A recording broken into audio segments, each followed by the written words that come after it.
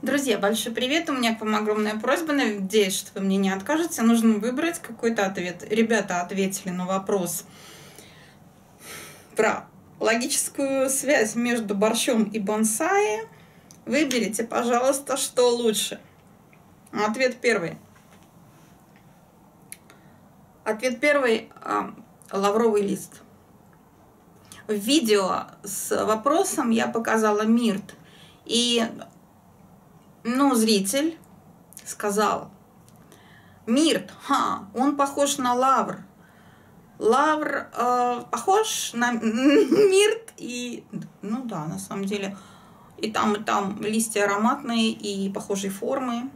Только у мирта намного мельче, но бывают и крупные сорта. И само деревце тоже похоже. Да, согласна, сходство есть. Хотя можно ведь сказать, что лавр можно тоже вырастить в форме бонсай, тогда еще проще. Так или иначе, лавр имеет отношение к бонсай, и он имеет отношение к борщу, потому что ха, лавровый лист. Все просто. Второй ответ такой. Растения и там, и там, ну да, логично. То есть используется агротехника, семечко вырастили, только это пошло в пищу, а это пошло для красоты. Окей. И третий ответ – это символы. А, символ Японии. Бонсай и символ достатка и благополучия борщ. Тут я опять бы немножко вмешалась и сказала бы, что либо это символ страны, там Россия, а тут Япония, борщ, бонсай, так, чтобы было равновесно и симметрично. Или если уж э, символ э, достатка и благополучия, так комплексно, да, что у тебя все есть, там и мясо, и овощи, и ты умеешь готовить, то есть есть плита и все такое, то тогда бонсай для Японии это символ их созерцания, терпения, преемственности поколений, бонсай передавалось из, ну, там, от отца к сыну и так далее. Вот символ эм, красоты, э, философского отношения к жизни и так далее. Минимализм, то есть малая требовательность к благам мира сего. В общем, весь японский э, жизненный уклад, начиная от их жизненных потребностей и заканчивая их философскими какими-то устремлениями, он может быть саккумулирован в этом маленьком бонсае. Да, то есть там и там это символ. Итак, первое – лавр – лавровый лист, второе растение, растение, третье символ, символ. Скажите, пожалуйста, какой из этих ответов вам наиболее импонирует? По любым вашим критериям, просто интуитивно, или познавательно, или остроумно, может быть, оригинально и так далее. А потом я скажу, какая у меня была своя версия и какие еще, возможно, были версии. А моя версия, кстати, она не была придумана, она сама родилась по жизни. Я потом об этом вам с удовольствием расскажу и покажу то, что я посадила. А сейчас я прикреплю сюда еще несколько видео, которые были отсняты до. То есть вчера, позавчера. Там немножко про улиток, но кто их не любит, можете пропустить. В конце немножко про погоду.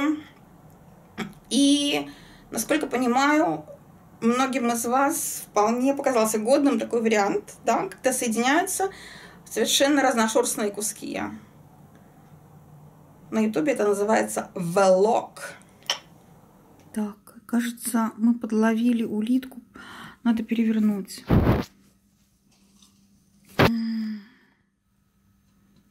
Мы подловили улитку, заползающую вниз, в почву. И что она там хочет сделать? Либо она там что-то ест,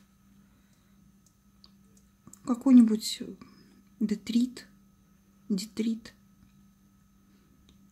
какой-нибудь перегной, гумус, ну там песок, собственно, почву.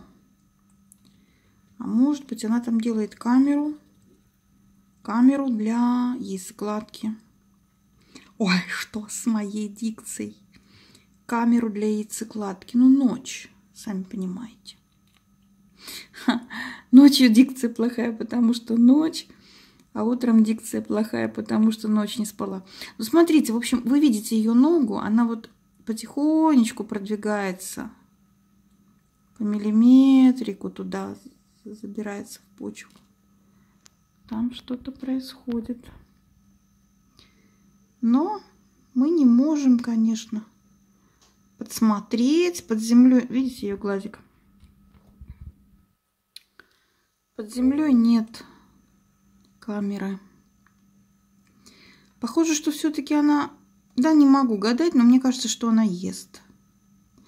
Какие-нибудь подгнивающие листья. Гниющий листовой опад – это основная у еда. И заодно их субстрат.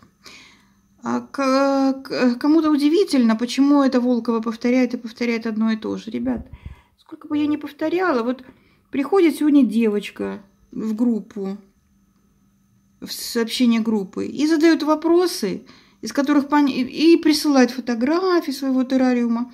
Из всего этого понятно, что опада у нее нет. А между тем она обращалась полгода назад. И ей все было сказано. А теперь она присылает фотографию улитки подыхающей. Там все выпало у нее. Все, в общем, плохо, все плохо. Помогите, помогите, помогите, спасите, пожалуйста. Спасите улитку. Я говорю, а кого спасать? Улитки уже нет.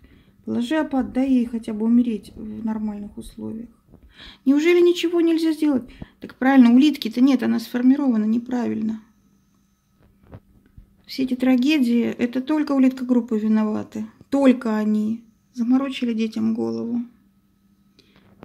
Там такие ужасные условия. Отключаюсь. До связи. Ну, кстати, я напрасно не поснимала вот этих гавриков как они едят там и мел, ну там не только мел, там целая смесь, и крупу геркулесовую. А, огурец мы ели вчера, огромный смолотили огурец. Но я не снимала, любовалась, расслабилась и смотрела на них. Там был тоже свой сюжет такой забавный. Они вон там, вот, где сейчас вон огурец лежит. Это сейчас только что положила. А вчера они там сгрудились это было так, было такое столпотворение, огурца даже видно не было. И тут просыпается большущий овум, ну, основной блондинчик. И он видит, что ему туда не пробраться.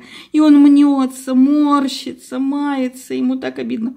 И он пошел слоняться, и вдруг он натыкается на огурец, который лежит ровно вот...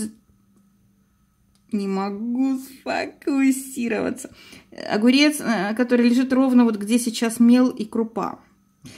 Он вот, вот там находится и смотрит сюда.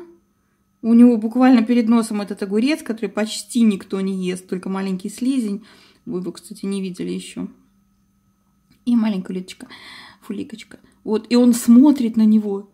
И вдруг преображается. Он был такой сморщенный, вялый и обиженный. И вдруг у него глаза вытягиваются просто огромные антенны. Если бы это по-человечьи было, то это бы значило выпучить глаза. И вот он смотрит на это и думает, и говорит как будто, что? Здесь целый огурец почти не кусанный, а там такое столпотворение, а здесь огурец, а там столпотворение, а здесь огурец. И он очень долго был вот в этой вот немой паузе, просто как по гугле, только там в конце сюжета, а здесь Ой, не моя пауза, не моя сцена. вот, а здесь он, наоборот, как бы в начале. Ну, надеюсь, что он потом поел. Но ждать я уже не стала, это было 3 часа ночи. Ну, а, поговорили, что наша улитка, которая... Да, она уже не зарывается никуда. Что-то съела там в грунте и пошла вон по Геркулесику пройтись. Увидимся. Хотите, поделюсь с вами закатом красивым? Такое небо. И ведь раньше на него я не обращала такого внимания до карантина. Сейчас даже в группе делимся облаками, потому что это основное зрелище, доступное да, все так драматично. А красиво на самом деле. Вон дракон какой-то летит. Там какая-то яичница жарится над домами. Адская или райская яичница жарится. Вон чувачок на велосипедике едет в сторону заката. Вот люди в черном идут с покупками. Он кто-то ребенка ведет на прогулочку нарушает карантинчик. Между прочим, Санкт-Петербург в числе лучших по соблюдению самоизоляции. Если вы скажете, что я хвастаюсь, то да, я хвастаюсь. Окей, увидимся, друзья мои. Увидимся. Встретимся, услышимся.